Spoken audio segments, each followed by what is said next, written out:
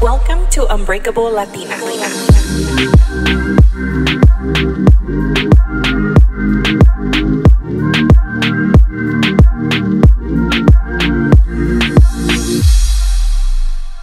Hi, guys, welcome back to Unbreakable Latina. This is your host, Melina. I hope you're having a great day, whatever day you're listening to this on.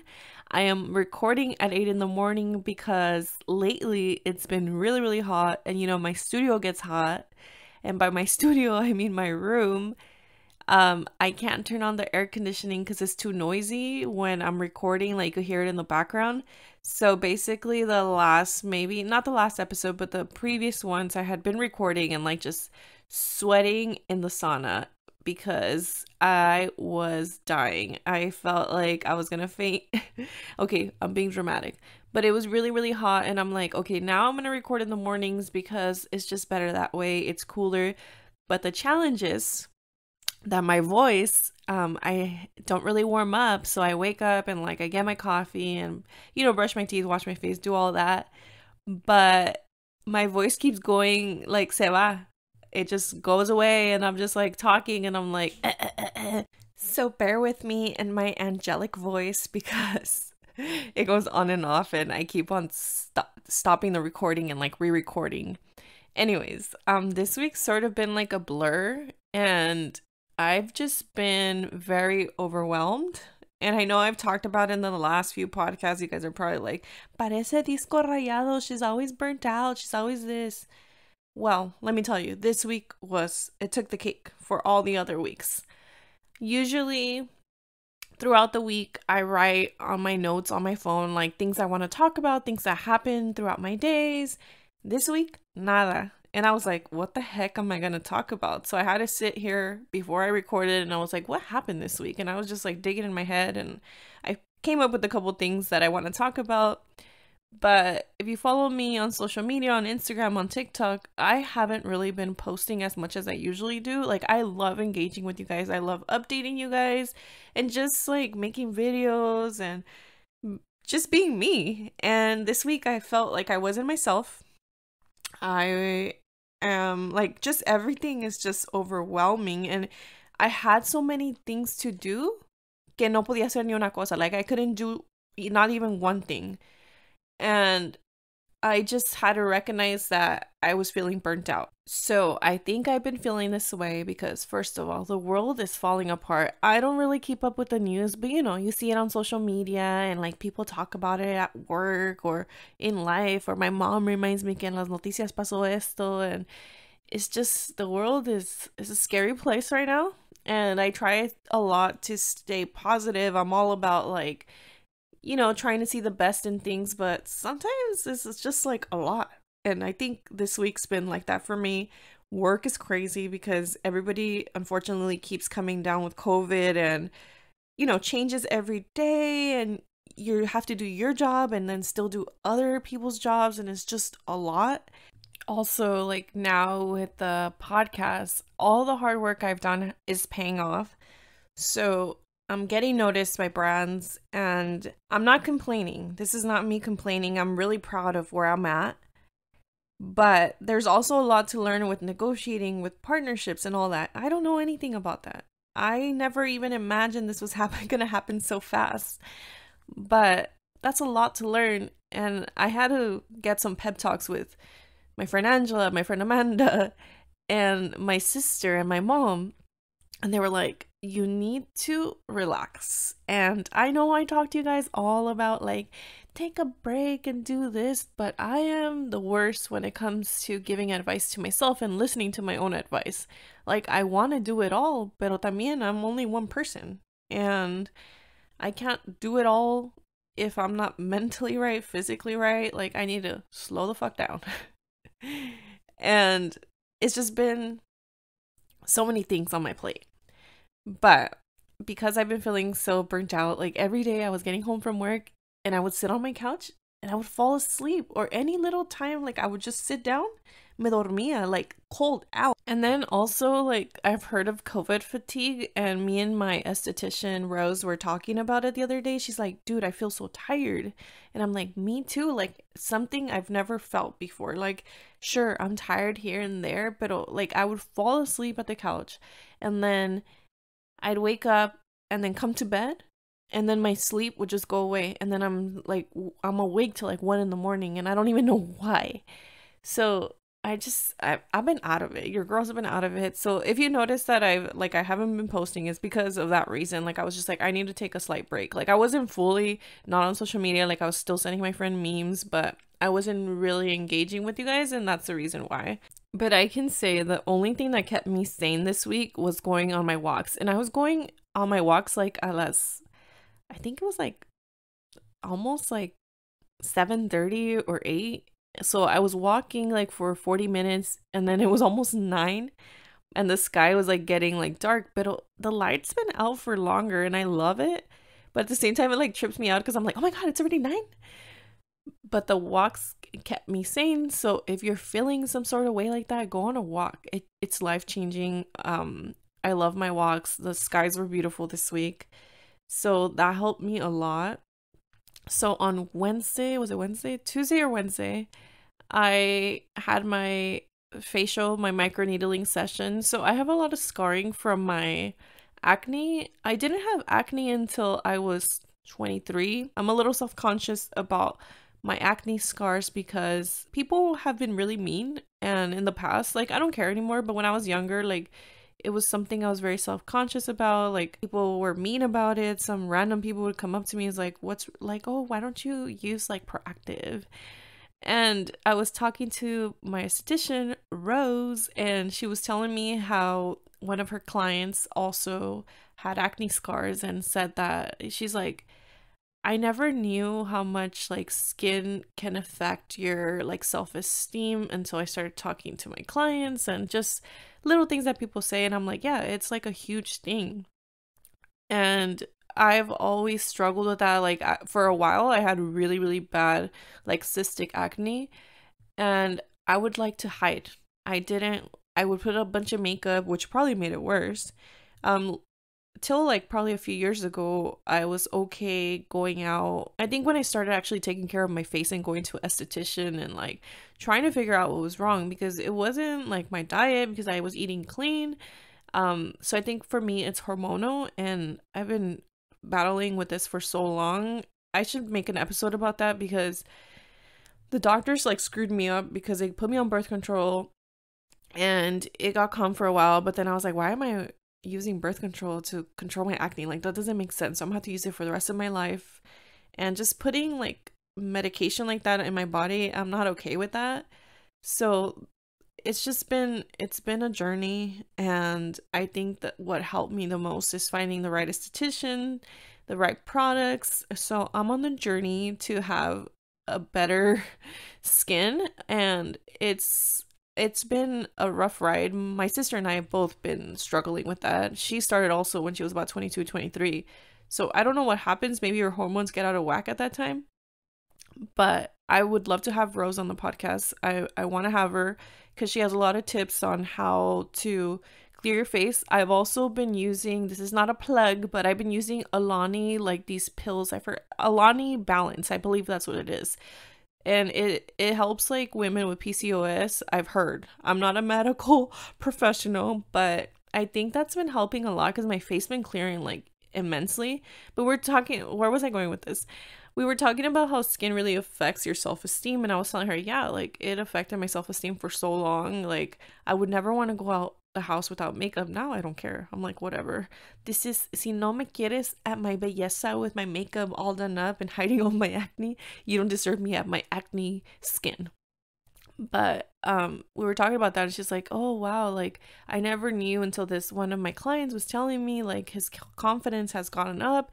And you guys, if you guys have scarring and you haven't done microneedling, like, I just did one session and my skin looks so good like the other day I was like, "Oh my god, like my makeup went on so smooth and I have three more sessions to go, so I'm really excited. Uh, I've been documenting like the journey, so I'll put my results, and it's just like life changing. Like I'm glad that I finally got out of my comfort zone and went to esthetician because that's the scary part. Like going in, and I, I've tried a few, and some just were like mean, and they make you feel shitty about what you were doing with your skin but Rose and I had another esthetician before that also was like, "Oh no, it's okay. Like we're here to help. We're not here to make you feel bad." And when you find the find the right person, like the person, when you find the right person to take care of your skin and to help you and guide you, life changing.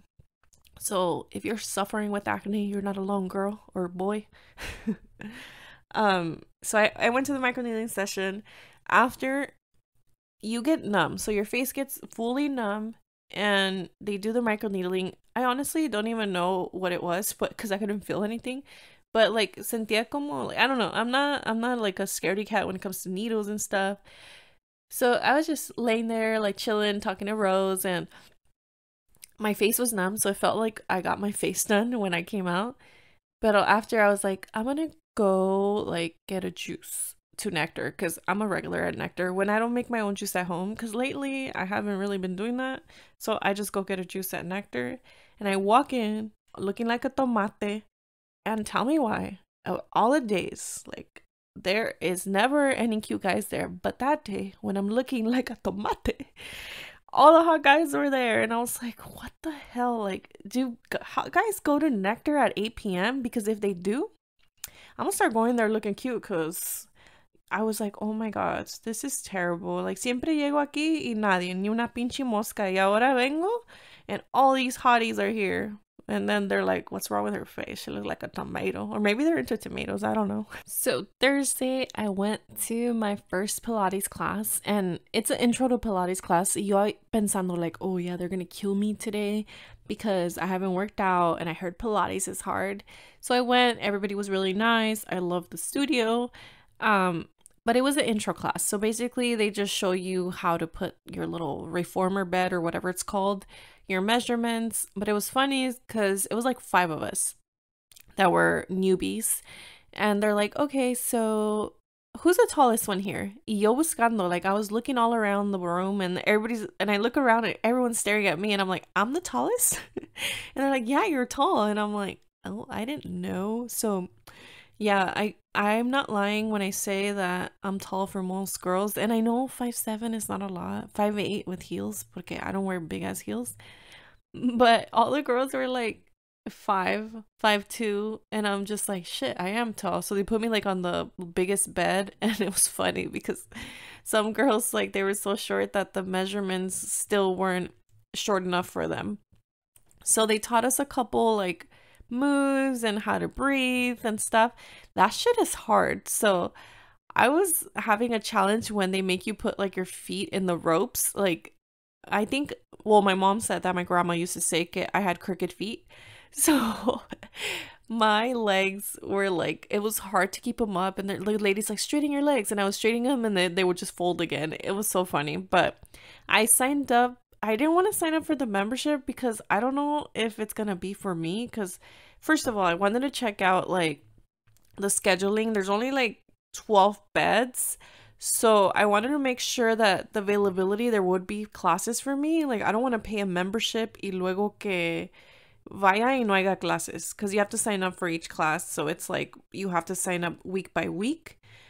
And the best thing that they had for me was buy four classes get one free. So the classes are each 25 bucks. And if you think about it you're like whoa that's a lot of money.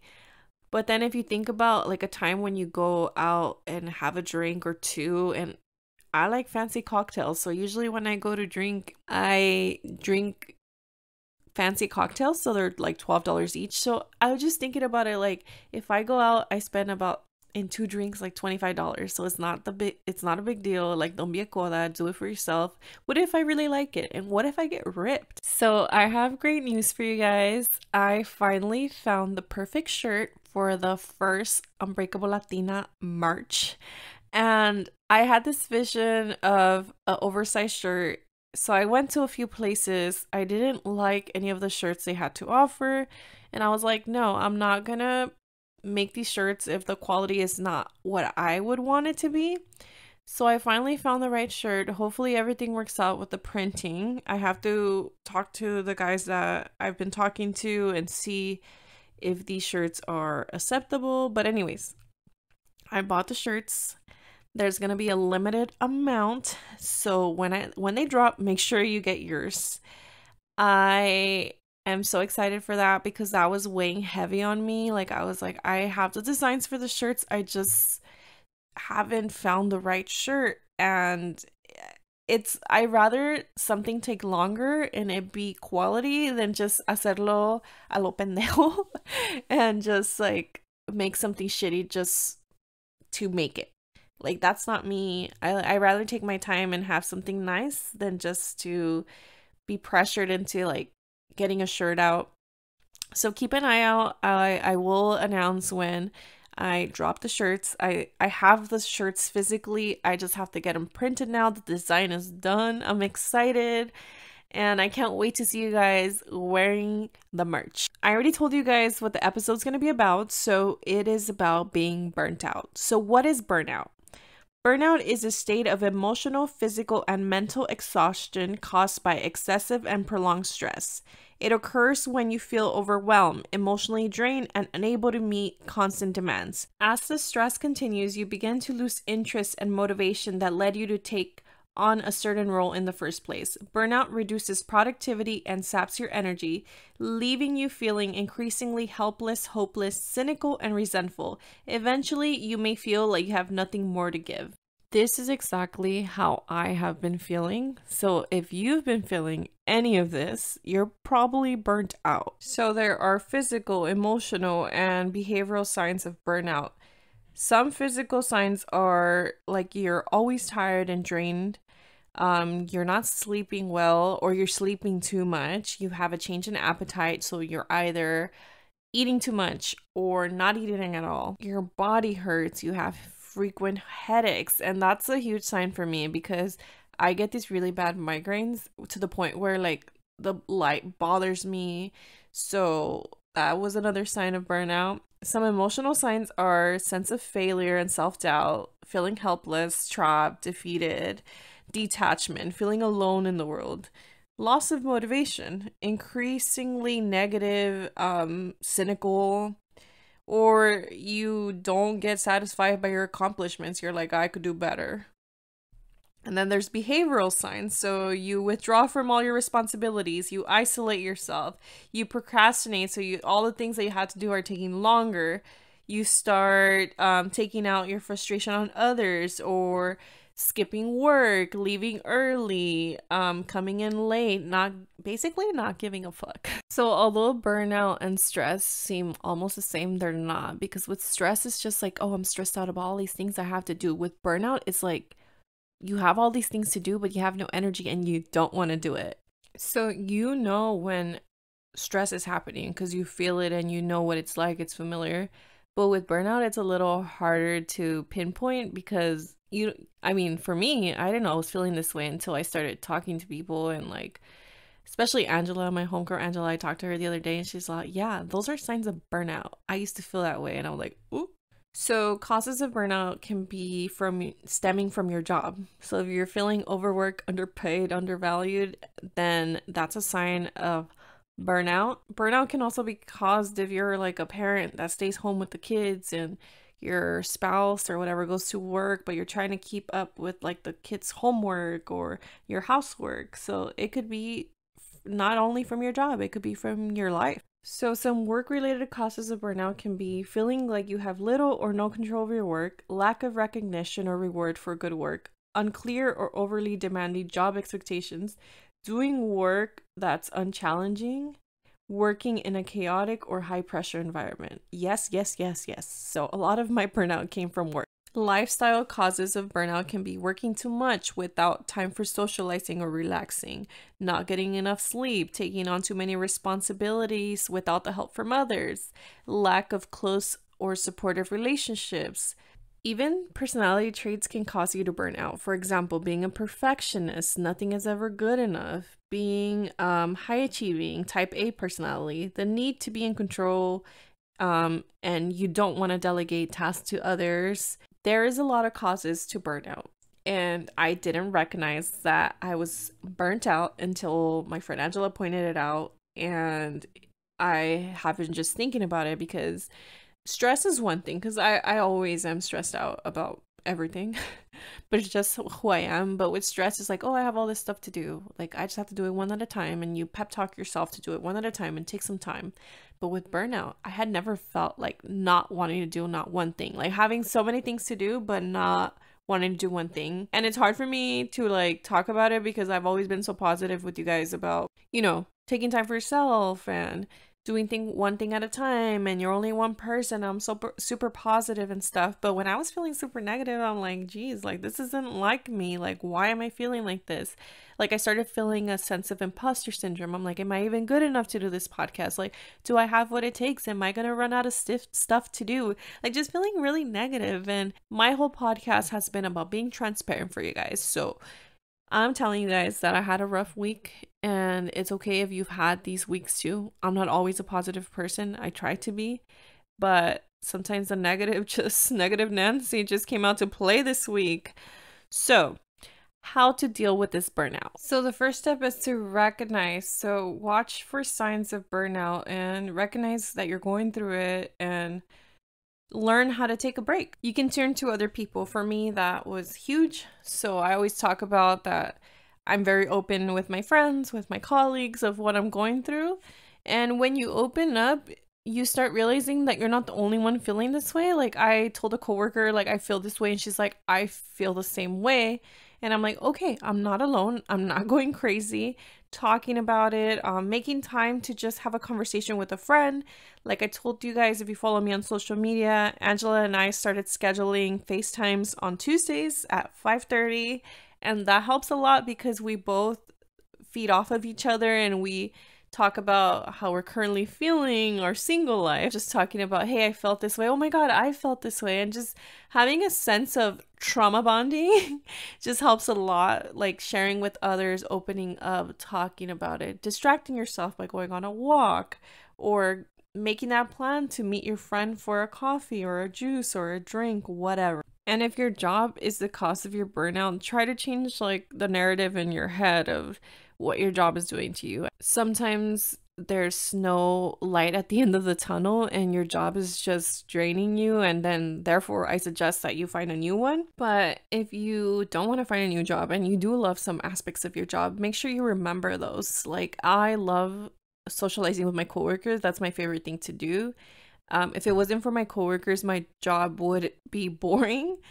Um, changing your attitude towards your job can help you regain a sense of purpose and control. So find a purpose. Say, hey, I'm doing this service or selling this product or doing this for a better, like to help somebody, or my job is important. You have to just pep talk yourself out of it. And if you're feeling burnt out, take that mental health day off, take a sick day. Sick days are also mental health days. Take a vacation if you can. There's so many people that just are like, oh, I have all this sick time, I have all this vacation time, but I have nowhere to go. You don't have to go anywhere to take that time off. And sometimes you just need a reset. So take that PTO, it's there for a reason. You also have to reevaluate your priorities. Don't forget to set boundaries. It's okay to say no, don't overextend yourself. Saying no is hard. I've talked about it many times, but sometimes you have to because you don't have the energy. You have to do stuff for yourself, um, take a break from technology. Like I told you guys before, I have made an effort to be more present and I took a sort of break for the last couple days and it helped a lot. Make an effort to set aside some relaxation time. So meditate or just read or sit outside being outside helps so much. Um, make sure you're trying to get plenty of sleep because sometimes with lack of sleep, you're already burnt out and you're making it so much worse by not sleeping. Combat burnout by taking time to exercise. And I don't mean like go lift like heavy. I mean, you can if you want to, but even like 10 minutes of a walk will make a difference. I always get my mood is boosted by a walk. Um, make sure you're eating healthy stuff. Sometimes when I eat shitty, I also feel crappy. Like it makes me feel worse. A few positive affirmations for when you're feeling burned out are you don't have to justify taking breaks. This is something that I struggle with because I'm like, tengo tantas cosas que hacer. I have so much to do and I shouldn't be taking a break right now. The guilt of feeling like you shouldn't take a break is real. Um, you deserve a chance to rest. It's okay to acknowledge that you have a lot on your plate. So be like, yeah, I do have a lot on my plate. I'll take it one step at a time. Remember that nobody can operate at 100% 100% of the time. Everybody has a breaking point and everybody has to slow down at some point. Your need for a break does not equate to incapability. So just because you need a break doesn't mean you can't handle your scandal. Like it's okay to take a break doesn't mean shit. Um you don't have to hold yourself to a standard of perfection. You're not a perfect person. No one's perfect everybody just shows us what they want to show us on social media. Not everybody wakes up and does affirmations in the morning and meditation. Like I wake up and I'm like, shit, I forgot to do this. And I'm running around like a crazy chicken with my head cut off. You know that taking care of yourself should be a priority because if si tú no estás bien, if you're not okay, then you're not gonna be able to do anything else. So that's all I have for you guys this week. I hope you enjoyed this episode. And if you're feeling burnt out, I'm sending a hug. Don't let it take over you like I let it take over me. I'm feeling a lot more positive and I'm feeling better. I'm feeling rested. And let's take on this week. Please don't forget to rate, review, and subscribe. Your reviews mean the world to me. It helps me um, come up on people's suggested. And I love that. I love when people tell me, like, hey, I found you on Apple Podcasts because Apple Podcasts like suggested it to me or Spotify. And it's all thanks to your guys' reviews that my podcast is being seen. On Spotify, it only allows you to give a star rating, but on Apple Podcasts, it allows you to give you a star rating and a review. So if you listen on Apple Podcasts, I would really appreciate if you leave a review. Don't forget to follow me on Instagram and TikTok at Unbreakable Latina, on Twitter at Latina Podcaster. Subscribe on YouTube to my channel. You can get your Unbreakable Latina sticker at www.unbreakablelatina.com. And you can also go under the Contact Me um, tab you can send me a request for a topic that you want me to talk about or advice that you need and I could feature it on the podcast. And if you want to be anonymous, you could be anonymous. If you want to tell me where you're from and where what's your name and you want me to share it on the podcast, just make sure you write that down. I hope you guys have an amazing week and I'll talk to you guys soon. Bye. Thank